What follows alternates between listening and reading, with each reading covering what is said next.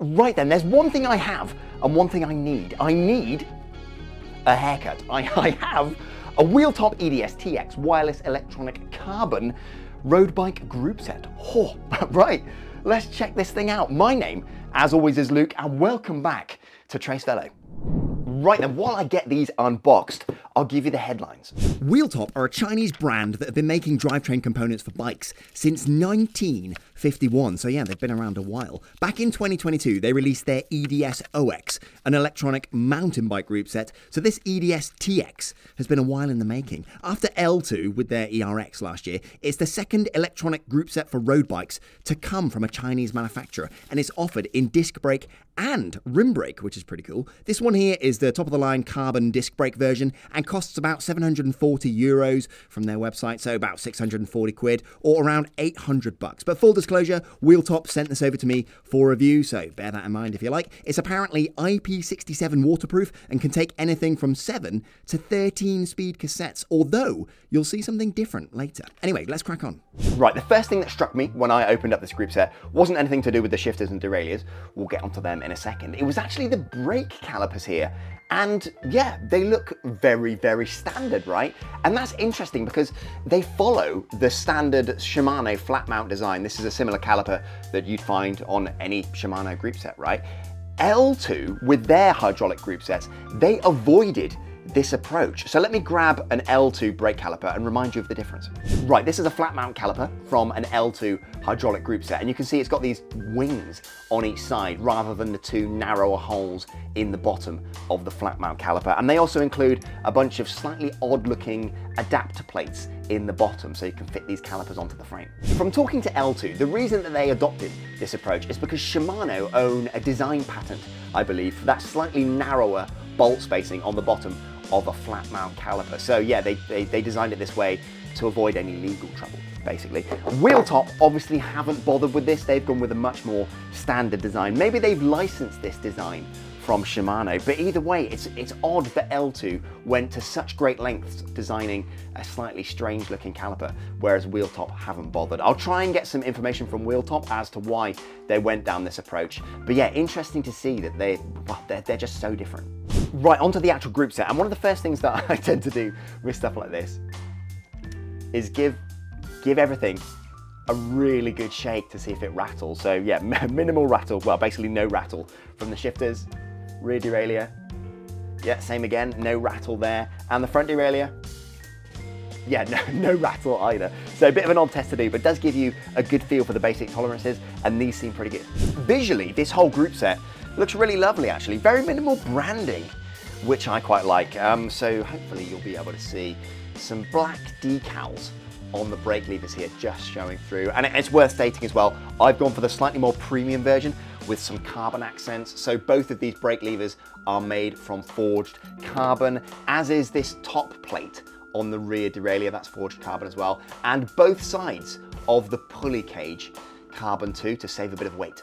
The overall build quality for this group set seems really top tier as well. Everything just feels good in hand. Nothing feels particularly flimsy, if, if you get what I'm saying. So all of the plastics that are used are decent quality glass fiber reinforced plastics. And if it's not carbon, it's machined aluminium. Like this arm here where it attaches to the rear derailleur hangout on the bike. This is all one piece of machined aluminium and it's quite a complicated shape. So that couldn't have been cheap to produce. And the gubbins, the sort of brains of the rear derailleur, they're kept out of harm's way here at the back next to the pulley cage. So durability seemed to have been front of mind designing the rear derailleur. Similar story for the front, so you've got a durable plastic top cap, but then everything else, the main body of it is one piece of machined aluminium. The swing arms front and back are aluminium as well. So build quality for the derailleurs does seem up there. The shifters, again, just feel really good in hand. It's obviously difficult to quantify and I'll need to put them on a bike before I can give them a full sign off. But just like the choice of materials, for example, the rubber that they've used on the shifter hoods. This is often an area where group set companies will cheap out if they're trying to save a buck, but not the case here. The rubber seems really good quality, nice and grippy, seemingly nice and durable, so I've got, I've got no concerns there. And just like, I don't know, the, the choice of fasteners that they've used, everything seems to have been designed and built with purpose. Nothing seems cheap, that's for sure. So this group set is entirely wireless and it's kind of a SRAM-esque system in that regard. There's no separate battery pack like there is for Shimano or L-TWOO group sets. So you'll need to charge both the rear derailleur and the front derailleur separately, hence the reason you get two charge cables there. However, unlike the SRAM setups, you can't swap out the batteries. So you can see it's kind of screwed on there. Presumably you can undo some of these screws and, and put a new one in if the battery wears out. But yeah, that's the battery situation. Totally integral to the derailleur. So let me get these charged up, paired up to the shifters, I'll get the app sorted, and then I'll give you a shifting demo. Right, interestingly, I've just tried to get that app uh, installed on my phone and I searched on the Google Play Store. It doesn't exist on here yet. So I scanned the QR code that they gave me. Hopefully you can read there. It says EDS app. And it took me to this slightly odd website where I had to download the APK. Hopefully you can read that there. So interesting that they haven't yet got the, the app approved on the App Store, but I'll get this installed and see how we go. Okay, cool, right, all registered, signed up, good to go. Interestingly, this app is currently available on the Apple App Store, just not the Google Play Store right now, but I used to work in app development in, in a previous life. That's always the way it goes with new products like this. They tend to focus on iOS first as a priority because it tends to have a bigger user base for stuff like this. So I'm definitely not gonna hold it against them. The Android app is working. I assume it's gonna be approved and on the Play Store in the next few weeks. So um, yeah, either way, let's get this all paired up and try some shifting.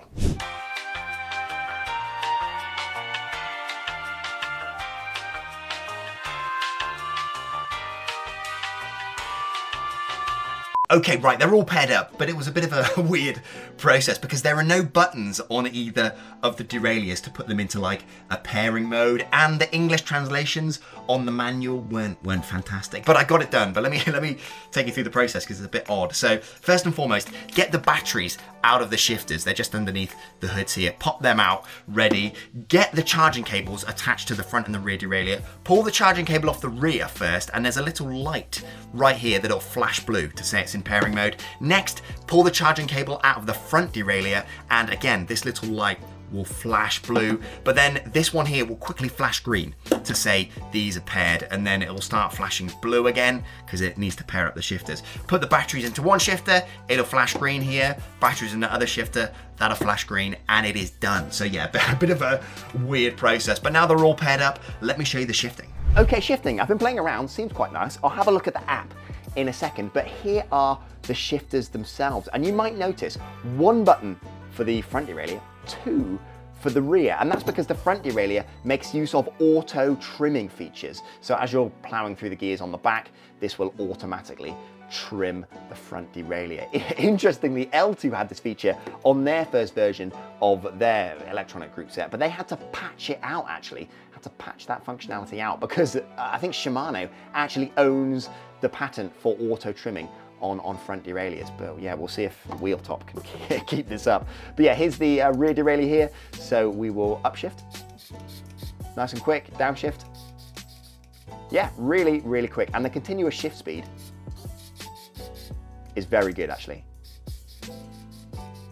And you can hear in the background, this front derailleur is automatically trimming. So let me try and show you that quickly. So if I move through the gears on the rear, See that? There we go. So it does automatically trim. And if I just show you the front derailleur by itself, so um, yeah, I'll click the button once. Small, small chainring, big chainring, small chainring, big chainring. Yeah, easy, easy peasy. The clicking is, yeah, really tactile actually, and the shifts are quick and seemingly quite precise. Let me uh, see if you can hear the buttons here. I'll bring it up the mic.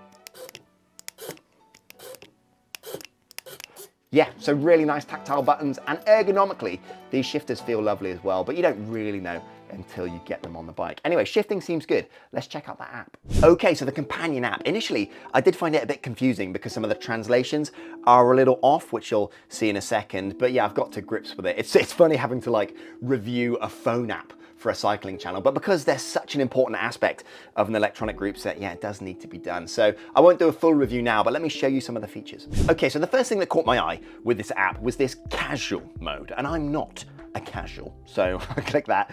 You can change it to competitive mode, which presumably is a race mode. You can see here that it will increase the power consumption. So I've had to play around with it. I, well, from what I can tell, it makes the shifts at the front and the back a little bit quicker, which is cool, but I'll change back out because I am a filthy casual. Um, and yeah, let me show you one of the coolest features. So you might recall that, well, on the, on the like uh, the press materials for this group set, they offer, well, it says that it offers 7 to 13 speeds at the back. But if I go replace cassette, it's currently set to 12 speed. But I can change it anywhere from 3 speed to 14 at the back. And I've had to play around and it supports it all. So the level of versatility with this group set and the sort of equipment you can use is bonkers. Okay, so the other bits you can do, obviously firmware upgrade here, pretty self-explanatory. I can update all the software on all of the parts. Device shutdown is a cool one. So this is something that's missing from the L-TWOO group set actually. Say I put my bike in the back of the car and I'm transporting it. I don't want to accidentally shift the gears while it's kind of rocking around in the back when you accidentally click the click the buttons because then it's going to like burn out the motors and just like mash into the bike. So I want to be able to shut it completely down, which I can do here. And then to wake it back up, you have to plug plug the charger in. Really like that. On the L-TWOO group set, I actually have to, well, I end up pulling all the cables out of the of the derailleurs just to make sure the batteries aren't connected. So I really like that function on here. The uh, initial calibration, that basically sets the, the window of where you want your uh, shifts to happen. So for example, if your chain rings are quite close to the bike, you can move the window of shifting closer towards the bike or further out and it will shift within that window. Variable speed mode is an interesting one and the translation doesn't quite make sense. So let me show you that. Right then, variable speed mode here. So first thing you'll notice is that when you click a lot of these menu items, you get this spiel. The, the video at the top is quite useful, kind of shows you what you're trying to do. But this language underneath, the English isn't perfect and it's a little bit confusing, but it does give you an idea of, of, of how to kind of achieve what you're, what you're trying to do. But anyway, you've got three options, gear shift, free setting, and fine tuning gear. If I go into gear shift, this is pretty obvious, right? So I can basically go in and I can shift on on the app. And I can do the same with the front, so that's pretty, pretty straightforward. Free setting, any guesses what that is? That's basically where you can swap what the buttons do. So if I wanna change this button to do downshifting instead of up, I can do that here, and I can do the same with the front, I think. So fine tuning gear, this is an interesting one. So this is an area that I think L-TWOO have done it slightly better, if you're familiar. But basically, this is where I can fine tune where the derailleurs hit to make sure the gearing is, well, the, the shifting is perfect. So if I go in, the, the, first thing you'll notice is that here, to sort of tune, tune the rear, they're called files. So one file to 12 files, that's, that's gears, obviously. But the other thing uh, one file, so first gear, that's actually referring to the smallest sprocket on the cassette, which, uh, correct me if I'm wrong, but that's normally referred to as the 12th gear in this scenario. But um, yeah, anyway, the other slightly confusing thing is if I go in, you kind of need to choose an arbitrary number between minus 200 and 200 in this case. So I'm in, uh, well, gear one on the derailleur. I would assume that if I say punch in, let's put 150, and I hit sure, I kind of expect the rear derailleur to then kind of move into position so I can fine tune on the fly. But the only way that the derailleur registers that new position that I've done is basically if I go out of the gear and then go back in then it indexes to that new gear, well, that, that new number that I've kind of selected. So you can get what you need to get done here, but the implementation is a little off if you ask me, but you can do it basically. So all in all, the app, it's, um, yeah, I mean, you can get done what you need to get done here. You do need to kind of take your time and get used to it, but um, all in all, pretty good. It definitely gets a pass from me. Right then, the weight. So just for comparison, the equivalent uh, kit on the L-TWOO ERX group set came out to 962 grams. So this one is 958. So it's pretty much the same. And just for another comparison, 105 Di2 the same kit is about 940 grams. So they're all in the same ballpark. What I will say though is that these flat mount calipers from uh, Wheeltop, they will weigh a little bit less than the L-TWOO one because they've got these wings on the side and that, those additional mounting sort of brackets that you need for them. So this will be ever so slightly uh, lighter than the L-TWOO uh, ERX group set, but not by a lot, pretty much the same ballpark. So all in all, yeah, pretty impressive. The build quality seems nice and solid. The shifting is quick and crisp. The shifters themselves are small and ergonomic. And I've got quite high hopes actually for the waterproofing. Like I showed, both of the derailleurs seem to be sealed units without any buttons even, so the avenues for water ingress do seem limited compared to some of the other electronic group sets out there. Uh, but obviously I'm gonna have to get it on a bike and test that out before I can be 100% sure.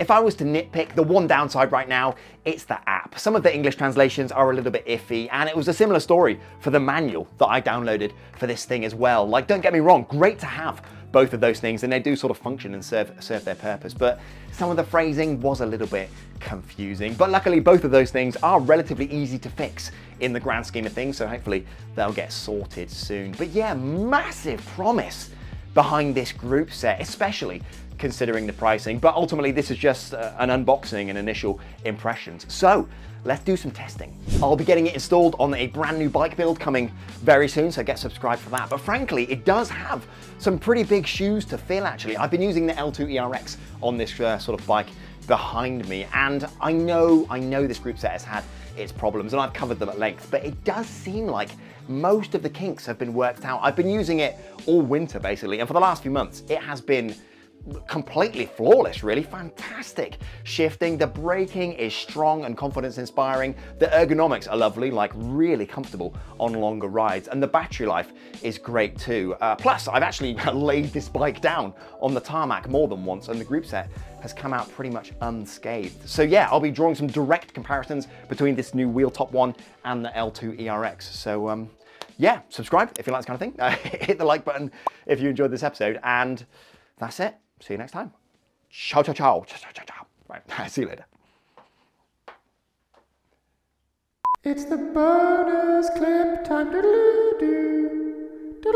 Right, it's the next morning and I've just come back into the garage to sort a few bits out. I've got my coffee here and I was, I was having a play around with the group set and yeah, it, it, well, it appears like the front derailleur is having some issues. So if you look at it, the position of it, it's quite far back. You'd think this was the sort of small chainring as it were. So then when you clicked the one button that's available, it would then try and shift up into the large chainring. But check this out. That's, that's all it can do. Like there's not another button I can press or anything. So it looks as if it thinks this is the large chainring, tries to move into the small chainring, maybe hits a limit on the software or something, and then shifts back up really weird. Strangely, if I show you, the auto trimming function still works. So you've got the rear derailleur in the back there. And if I shift up a few times, see? So the auto trimming still works, but for whatever reason, the actual shifting on the front derailleur seems to be knackered. So I'll have a look in the app, see if there's a, a setting I can recalibrate or reset and try and get this sorted. But yeah, I haven't touched it since yesterday when it was working, but yeah, seems to be having some problems. Okay, so I'm in the app and I've been having a play around. The batteries are fine. This basically has 100% battery, seemingly. So I'll go in and if I go into this variable speed mode here, I can, I'll close that down. Um, I can, I can basically shift here. So if I go gear shift, this is the rear. So if I grab the rear, I can use the plus and minus to shift, right?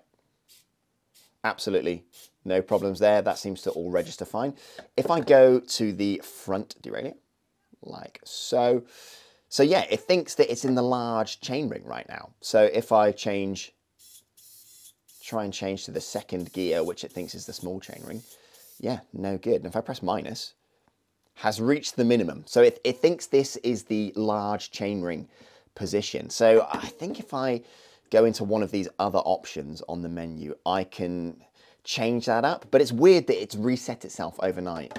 Yeah, really strange. Anyway, I'm gonna have a little play around, see if I can actually kind of recalibrate the position of this arm. I think I can do that in this initial calibration uh, menu item, but I, I, don't know. I'm gonna have to play around with it, see if I can sort it out. So give me a second. Right, so in this initial calibration part of the app, I can go in and I can change the position of the derailleur. So I think if I move it far out enough, like so, using this um, arrow here, I can maybe reset the position of it. So let's keep going.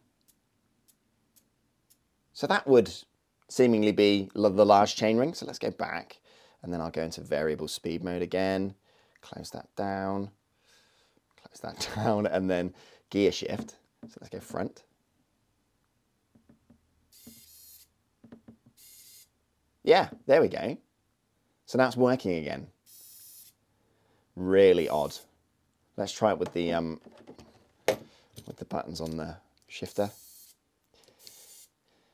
Yeah, now it's working. So weird that it would kind of reset its position overnight. Clearly a bit of a bug in the software right now. Um, but yeah, I guess that's just the way things are with early release uh, versions of kind of group sets like this. But still, a bit weird, seems to have been fixed, but there we go. So I've just been having a, a think about, about this issue, and it occurs to me that maybe my garage is cursed towards uh, electronic front derailleurs. Because some of you might recall for the L-TWOO ERX group set here, I unplugged my front derailleur, left this thing overnight to do a bit of work on it, came back in the morning and it didn't work. So I had to kind of uh, problem, problem solve that issue. Similar vibes with this one here, right? So leave it overnight, it was working fine um, yesterday, one night in here, and then the bugs start to kind of come out of the woodwork. Uh, yeah, it, it, well, it appears to be working now, seems to shift up and down fine, but it's strange that it would recalibrate itself overnight. Either way, I'll reach out to Wheeltop, see what they say. If they respond, I'll stick it on the end of this video. If not, I'll pin it in a comment um, underneath here. So do have a look out for that. But either way, seems to be working. Strange quirk though. So Wheeltop did get in touch. They pointed me towards that initial calibration part of the which I showed you to kind of bring the derailleur arm back out. No indication as to why it happened and it lost position in the first place. But um, yeah, I've tried desperately to recreate the issue over the last few days, really trying to catch the group set out, but no dice. The shifting is still absolutely fine. So maybe it was like an initial bug from the very first pairing something like that. But either way, it's absolutely fine now, so I'll give them a pass. If anything, it does also show the safety features they've got on the group set do work because it wasn't willing to shift too far and it kind of backed itself back off without doing any damage. Plus, the, the communication from Wheeltop was really good too. So um, yeah, I'm happy. I'll keep an eye on it, but it doesn't seem to be an issue anymore. Anyway, uh, enough of that. See you next time.